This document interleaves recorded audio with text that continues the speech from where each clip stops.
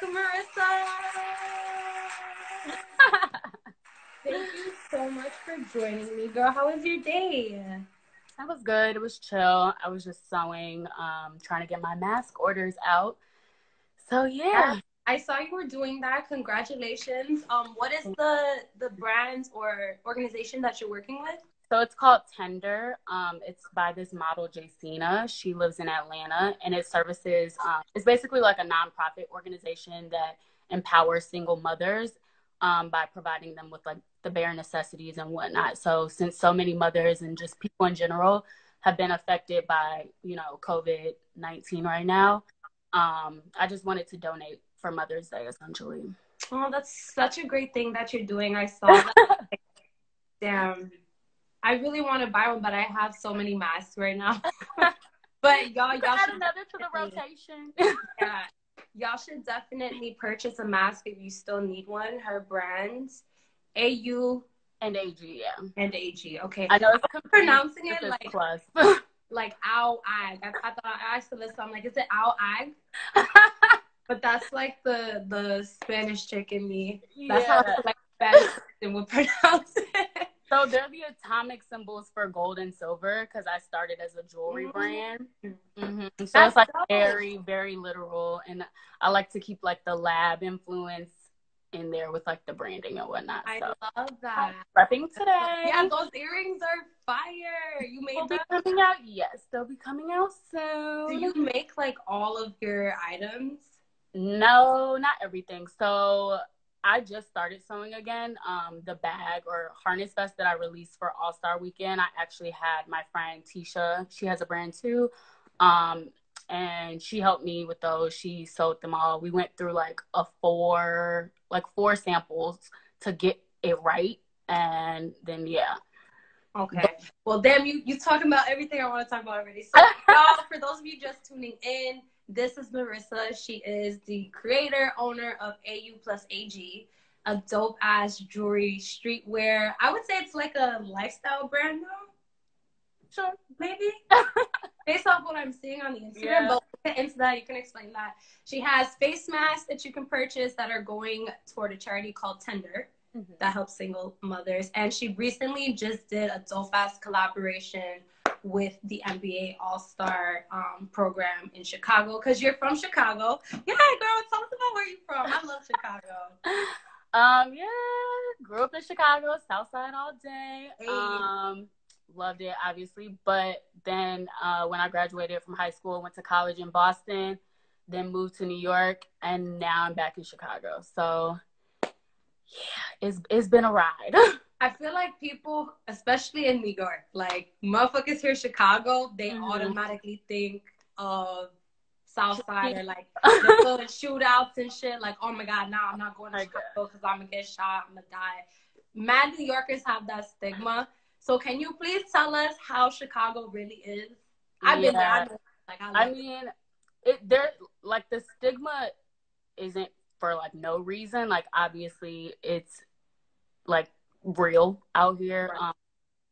Um, police brutality, um, gang violence, etc. Like that is all very real. But I always tell people too, it's not like if you come to Chicago, you're not gonna be in the hood. You're not gonna be mm-hmm. like you would be downtown probably. You're gonna be seeing like the better parts that are, you know, policed a little more, kept up. So it's not like that everywhere. It's not like you just gonna go outside and get shot. Like, right? Yeah.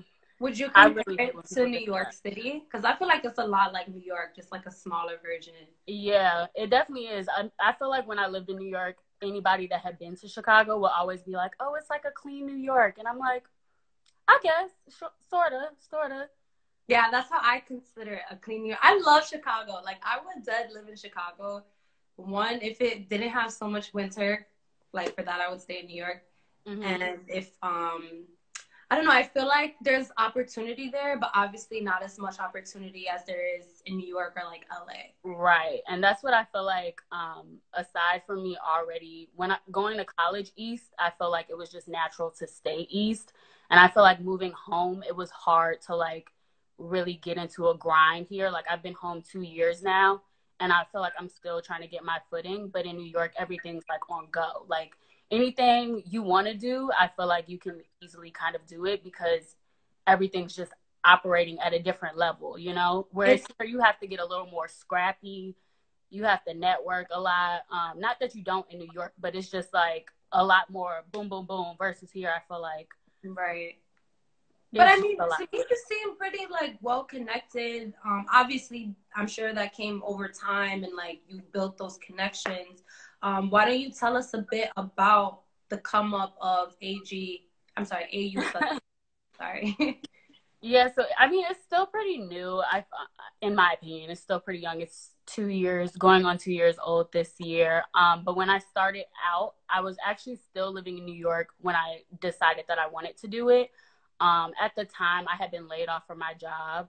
Um, and it was just like, okay, what am I going to do? Like, I'm working, I was working at a restaurant at the same time at Miss Lily's. Um, and I was just like, I need something of my own. So I was like, okay, I want to sell jewelry. I want to like eventually collaborate with bigger brands. I want to work with other designers. And I was like, but I have no real proof that my work itself is credible or like that anyone is even interested in it.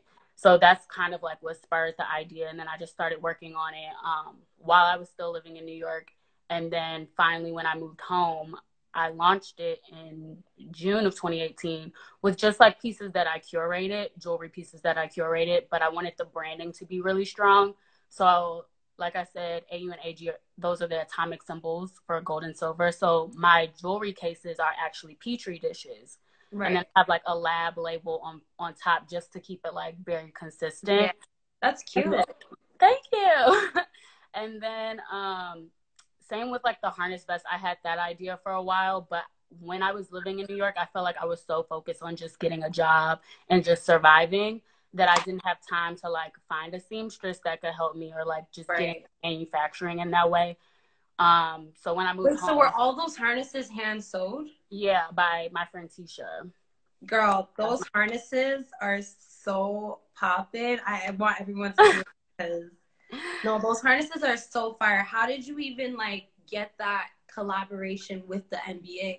So it's not it wasn't with them. It was just like I decided to release it that weekend and all the jerseys um I just found myself like online or at a thrift store or whatever, but I was also like really specific with the players that I wanted or the teams right. that I wanted. Like I was sending them to my friend Simone. I saw her in here because she's very knowledgeable about basketball and I I feel like I'm knowledgeable about the culture around it, like what right. people are wearing, but not like or who the top players are, but not like for real for real. Um, but I'm really into like tactical style and sports style, so I feel like that I was just like, what can I do to kind of cross and merge the two? So yeah, that's kind of how. So like, these are the um, if people can see it. I love it. I love them. They're so fucking cute. So fire. Which y'all can purchase on her website. On my site. Um, no, but that's fire. So would you say you prefer New York over Chicago? Cause like, I don't know. I feel like in New York, it would have been a lot harder to produce something like this NBA collection um, that you came out with during All Star Week than it would in Chicago. Mm-hmm. I feel like it was like the stars really aligned because in All Star Weekend was in Chicago this year. And like I said, even though I had thought about the idea a while ago, I was kind of like, I was just going around it. I was like, okay, I'll get to it when I get to it. Like it'll right. eventually happen. And um, like my friend, my seamstress, she, she really like put her foot on my neck, like, girl, get this done. NBA All Star is like next week. You need to stop playing and just push them out. Um, but I do feel like I don't know. I feel like I could have done it in New York. It it would have been different. I feel like for where I'm at with like man trying to get a manufacturer for things I'm doing right now, living in New York would be a lot easier just because Chicago doesn't really have that um, infrastructure. And like the few people that do manufacture anything, it's like everybody's going to them. So I don't know. It's really just trade offs again, my thing is like handmade, so it's not like I needed like a whole team. But now that I'm trying to have like larger quantities produced of things and um, not just like one off pieces, like mass produced, it's kind of difficult. No, yeah. It's, I've been trying to get into like fashion too. Like, it's so intricate and so like there's so many steps to the process if you don't know how to make your own clothes which it's like so frustrating for me because i like doing things as much as possible myself just because it's better to have all the control in your hands but some things you gotta yeah but i also feel like if you can afford to pay people to do the things that you need to be done and they can do them better you might as well because right. you can, you literally can't do everything yourself and it's like shooting yourself in the foot almost. So you have to know where to like lo- offload things to right. make for yourself. Has that been a difficult thing for you to um like process or make that realization? Um I feel like yes, because I'm so hands on with everything. I'm like lean over your shoulder type. Like let me watch you do it um in the process. Right. But yeah, I feel like I'm definitely getting a little, I don't want to say lax. I'm still like on top of it, but I feel like I'm trying not to be as nitpicky because it's like at some point, it'll never, like things will never get done if you keep trying to tweak and tweak and tweak. Like at some point, you just have to be like, all right, this is what it is, and it's gonna have to go out like this. Right. I totally get that. It'd be so hard. Like when it's the actual person's yes. it's like fuck. But then you know when you release it, nine times out of ten, it's like a great response from the world. So right. that's pleasure. But we're we're our biggest critics. Like I feel like I, I'll notice something, I'll be like, I know everybody's about to see that, and then I'll show somebody, and they were like, I didn't even notice, and I'm like, okay, good. Right. um. So you're from Chicago. Who are you listening to from Chicago? Like, who are your favorite artists out there? Ooh. That's a good question. I feel like I'm listening to some female, well, I'll say a female rapper right now, Baha. Um, she's like up and coming. She's pretty new. She just started. Um, but she's super dope, so you guys should check her out. Queen Key, I'm listening to her. I feel like, like I'm found out, you know, the female artist right now. Yeah, I feel like those are like probably the main two I'm listening to. yeah, shout out to all the female artists. Yo, there's a lot of good artists that come out of Chicago and like yeah, realizing it. Um, like Jeremih, I didn't know he was from Chicago until like two years ago. I'm like, damn, he been running in right. Um, that being said, obviously you love music. Fashion ties into music. We actually met during Fashion Week. We did. What a coincidence. At Miss Lily's. Yes, at Miss Lily's. It was such a great night. Like I had so much fun that night. It was a long night. Bro, I had so much fun that night. Um yeah, I mean it was dope that we had that experience. Uh, that being said, to me, I mean, I, I consider you an it girl. Me and my best friend Alyssa also considers you an it girl. So I really want to talk to you about the difference between being an it girl and like being a groupie. Because I feel like you're you're well respected mm-hmm. by you know you have great connections. Yeah. Period. Yeah. Well, thank you definitely because I'm like, oh, okay, praise, thank you, I appreciate no, that. You have to, you gotta make that um like know that about yourself because there's just some girls out here moving in the wrong ways and it's it's like ruining it for ruining it for all of us you know what i mean? Yeah. Yeah i don't know i feel like for me i've just always tried to stay true and authentic to like myself to my style to whatever it is um and just work hard. I feel like i haven't been handed anything and people know that. I've always been that person that's kind of like even just scared to ask people for help. And I'm just getting to the place of like, all right, no, because I don't want them to think think of it as like, oh, I'm just asking you, and I'm not even your friend, like using them. Right. Um, and I think people have noticed that. And if I can do anything for people, I will. Um, just trying to like always give off that natural and authentic energy and just being keeping it real. Like I am big on networking, but it's like, look, if we have mutual interests, we might as well support each other. Right. And uh, yeah, I feel like that's like people can see that, which is just why I guess you can see that, which is why you've said this. So yeah. In what places would you say have you made the best connections? Oh, definitely New York. But like doing what exactly? Like was well, it working at a specific place? Or? So I feel like um, I've worked at a couple magazines, and that's definitely like helped me meet so many people. When I first moved to New York, I was an intern at Galore magazine, and then I started working there um, freelance. But like I made probably the majority of my connections from working there just because it was like we would have influencers or celebrities in and out the office like you're really getting to talk to talk with these people and then I would become friends with these people and then going to events like either actually like shooting at an event or just being at an event like different things like that and keeping in contact with people.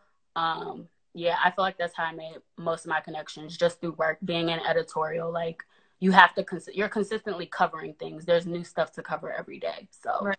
At that point when you were like interning and grinding in new york working at these magazines what was it that you were pursuing so my background is in film. I went to college for film, oh, and I was yes. Yeah, so I was a the assistant video editor. Yeah, assistant video editor at Galore, and then I actually produced like an episode of a show there.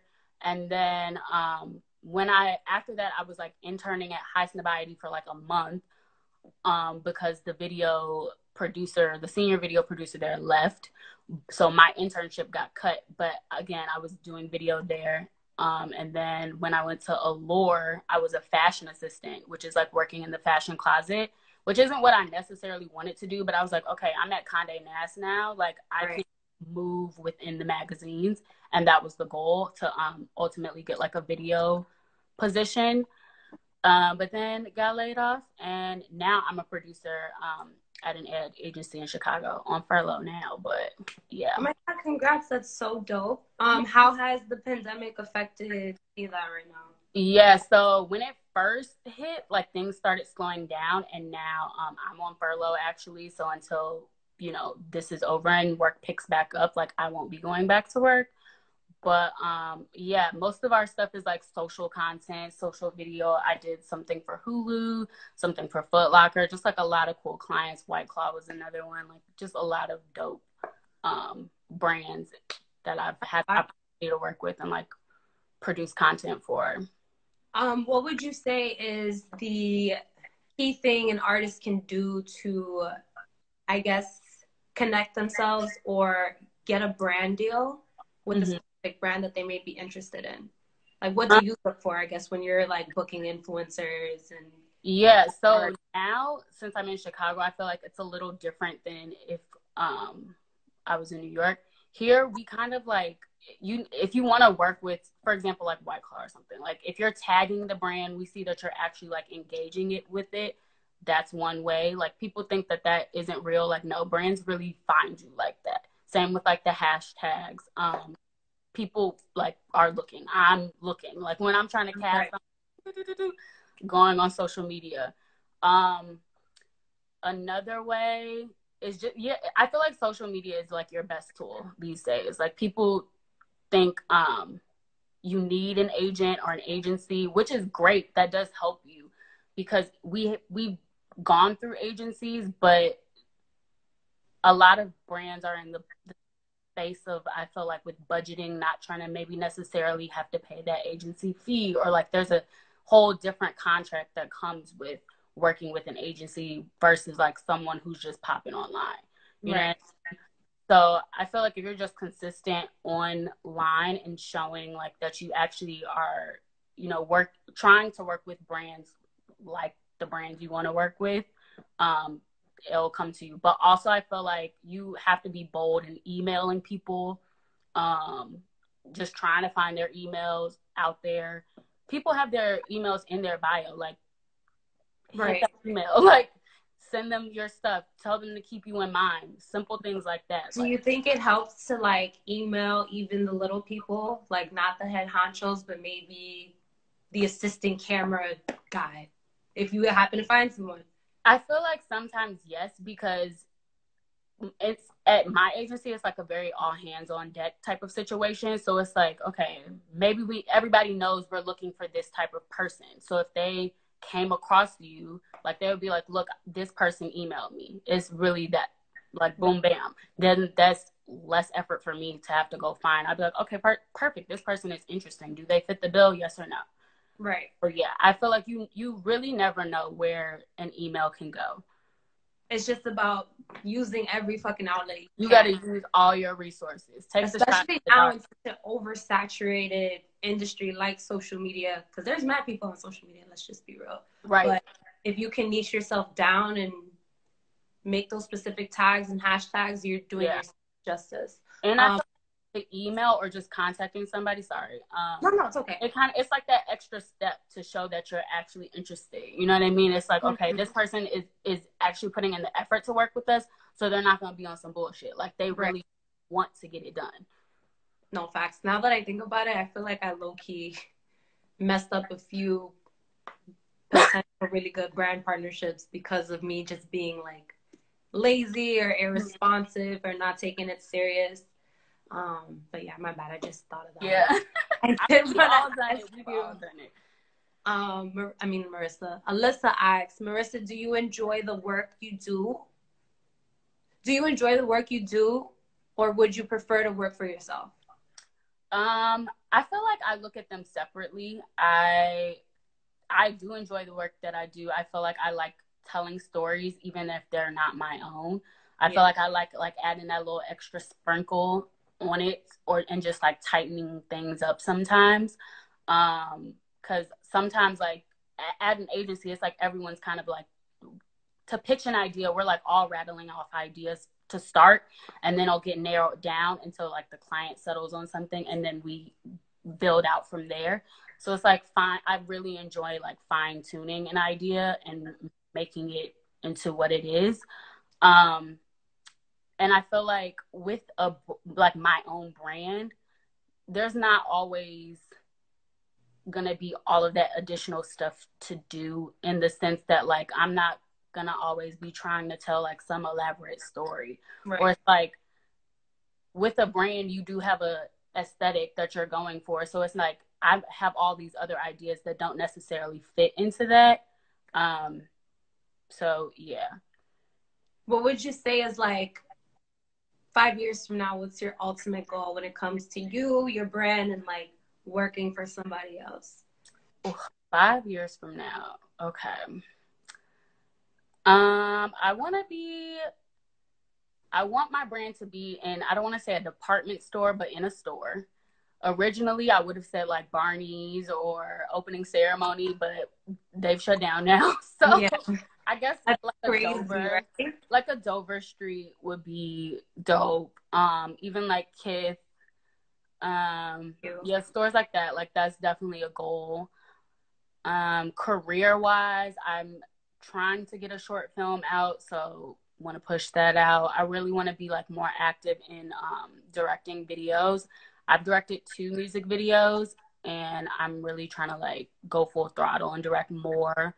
Um, and I've been That's wanting to write. Like I've really been wanting to write, but I'm not like a blog person. Like I don't feel like I just like want to rattle off my all my ideas all day. Like I rather be telling other people's stories or bringing attention to something that's like happening in the world. So thank you. no, I saw that comment. Those things are biased, fuck. Um, that's dope, girl. Honestly, I did not even know you were so heavily into um, film and like behind the scenes. I think that's fire because there is a lack of women on that end of the industry. Mm-hmm. So that would be fire if you like became. Yeah. Okay, that's that's the goal too, but that's even further. Just because yeah. I feel like I've been on. I'm trying to think if I've been on a film set. Oh, I have been on a film set, and those days are just so long. Even with like commercials, and even when I've done music videos, like that, I've just been like a PA on or something. I'm like, bro, like music videos. Forget about it. Them shits be the whole day, twenty four. Right, right. And I'm like, I don't think I'm there yet to to commit that much. I have so many other things that I'm trying to do. Um, but down the line, we'll get to the features.